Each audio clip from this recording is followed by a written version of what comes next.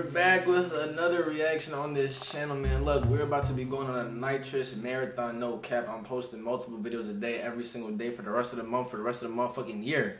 I'm not taking a break, bruh. I came back revitalized. You feel me? But check me out. Today we have right here a TikTok compilation. I haven't reacted to a TikTok compilation in a minute.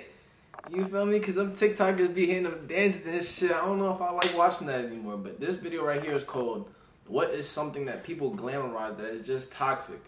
Now this is the part two. Let me know in the comment section and leave a like down below if y'all want me to watch the part one. But um, you feel me?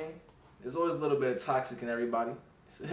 it all just it all just depends on uh, the level of toxic toxicity that you're trying to get into, man. But I'm not gonna speak so much. We're about to hop right into it, man. Make sure you guys do leave a like down below subscribe.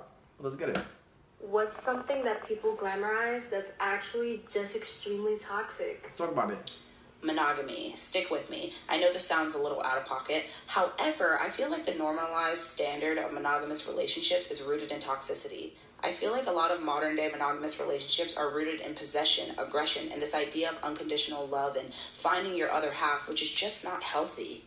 We are whole individuals. We are sexual, romantic beings. There are so many different types of soul ties, soulmates, relationships that you could make with other individuals. And honestly, I think we're the only animal species to be monogamous and to have a heteronormative agenda. However, that's a whole separate issue.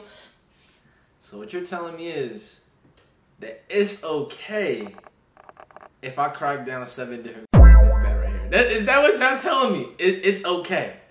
Listen, I don't even think I would want to do that. Have my beef fall off by the time that I'm 30. I don't think I would want to do that respectfully. But this girl is saying that it's okay. Now I find that interesting, man. Let me know how y'all feel about monogamous relationships in the comment section. Oh yeah, monogamy. What's something that people glamorize that's actually just extremely toxic? I've been waiting for this one. People in the arts who put their job before everything else in their life. I'll give you an example. I'll so I was a sound designer in college, one of the only ones, and my sound professor asked me to volunteer for a show that I hadn't volunteered for, and I let him know I would do it, but my sister's due date was during the run of the show, and I really didn't want to miss it. She's my only sibling, it was her first kid. He tells me it's fine.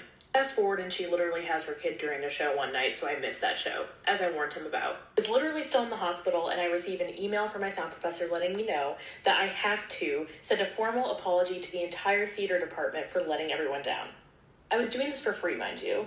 Next day, the stage manager pulls me aside and tells me I have to make sacrifices like big family events if I ever want to go anywhere in this field because that's what it takes. Excuse me, I'm a college student not getting paid a cent. Long story short, I do have a career in the arts and I have fine work life balance because my job isn't my entire existence. What's something that people Respectable. I respect that's that. actually just extremely toxic? The idea that you guys need to be obsessed with each other when you're in a relationship. Full examples is that apparently we have to text each other every day, all day long, and if we don't text back within a reasonable amount of time, or we don't explain why we didn't text back, then all of a sudden that means we're not into you anymore. If you're not texting each other, fact, then you're bro. probably on Facebook. That is a major fact. Every single every single person I talk to, before talking to them, I always let them know, bro. Listen, just know that I have a lot of things on my plate in terms of like working YouTube and other shit that I'm doing, forex and shit like that.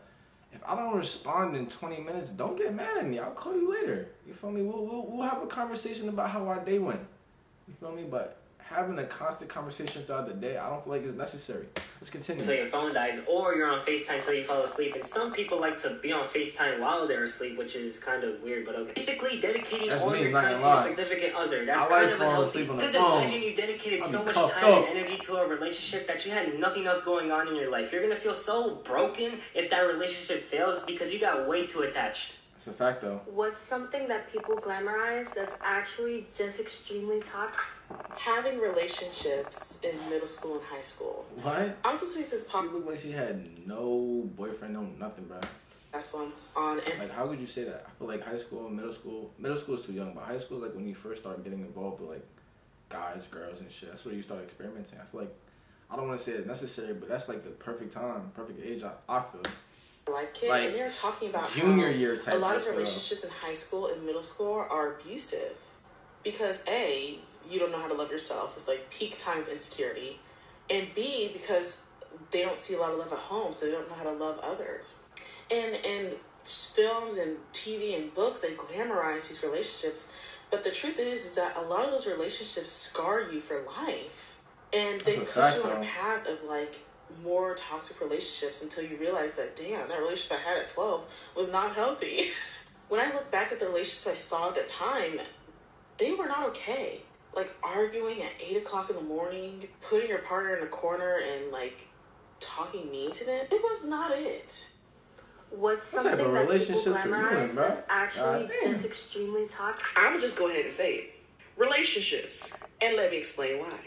By no means am I saying that relationships are toxic. But what I am saying is that society and social media's obsession with relationships, yeah, that's not healthy at all. It's as though everyone is more focused on the cute pictures and the matching outfits and being able to say you have someone than actually assessing and considering who you have. Daniel. Sloss said it best. If you haven't seen his Jigsaw stand up on Netflix, look it up now. There's people out here trying to force things that should not be forced with one another because they would much rather have somebody than nothing at all. I, don't think y'all understand. There are really couples out here who don't need to be together, should not be together, but they stay together because their cute couple pics go viral. It's a fact. And the It's a obsession promotes the idea of being single being a flaw.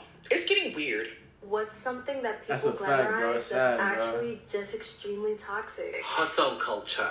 This idea passed around Hustle culture. What you mean hustle culture, nigga? If you don't want to get money, then just say that. Then listen, niggas like me want to get money. I'm hustling all day. Let's continue. the Insta girlies and the boss babes that we need to be constantly working, constantly improving, constantly moving to reach those goals. All this does is reinforces the idea that we need to work ourselves to the bone in order to be successful or have a meaningful life. But listen here, Michaela. We're all just a clump of cells sat on a big fat rock that's hurling its way through space. Take a break. Listen, What- man. If you want to believe him, you could you could say that. All I know is this: this huge composition of cells would love to live a luxurious life. I would love to live a luxurious life while I'm here on this big fat rock that we call Earth. I would love to live a magnificent life. I don't think hustle culture is necessarily toxic. I think to the extent of which you dedicate your time, it can be become toxic. No cap. Because if you sit down every single day and you feel like you're not successful because you haven't achieved certain goals, then that's when it becomes toxic. But to sit down and have goals and execute those goals and continue working to better yourself every day, that's the that's the one and only thing that we have in life. That is our purpose in life, just to become the better version of ourselves. That's just what I think. Let's continue.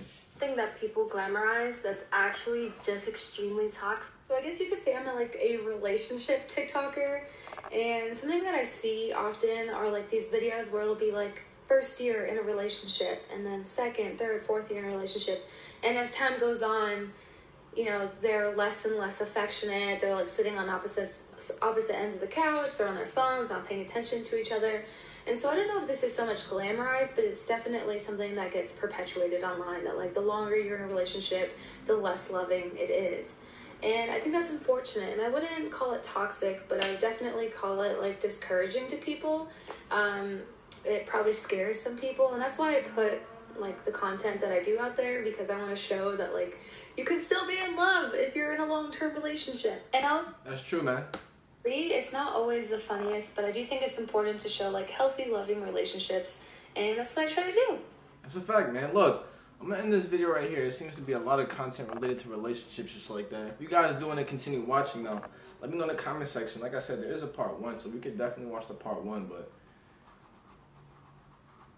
look at her face, though. You feel me? look at her face, dog. I'm getting. I don't know about y'all, but I'm getting tired of it. I feel like move on to the next. You know what I'm saying? But check me out. That's gonna be the end of this video right here, man. If you guys did enjoy, make sure you do leave a like down below subscribe.